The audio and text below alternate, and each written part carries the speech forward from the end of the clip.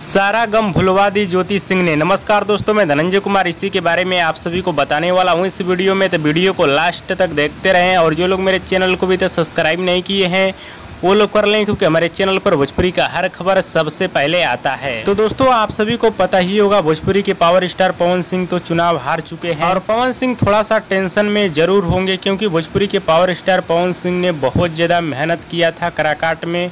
खूब ज़्यादा प्रचार किए थे, बहुत ज़्यादा पैसा भी लगा था पवन सिंह का। और थोड़ा सा अफसोस ज़रूर होगा भोजपुरी के पावर स्टार पवन सिंह को चुनाव हारने का। और थोड़ा सा पवन सिंह की माँ भी निर्भस हो गई होंगी कि मेरा बेटा हार गया चुनाव। लेकिन आप सभी को बताना चाहता हूँ, चुनाव हारने का सारा गम ज्योति सिंह ने भुलवा दिया है। जी हाँ दोस्तों, ज्योति सिंह ने चुनाव हारने का सारा गम भुलवा दिया है। पवन सिंह की पत्नी ज्योति सिंह, पवन सिंह के माँ को इस समय काफ़ी ज़्यादा खुश रख रही है अपने घर में, जो की आप लोग देख सकते हैं। पवन सिंह के माँ के साथ साथ सेल्फी ले रही हैं।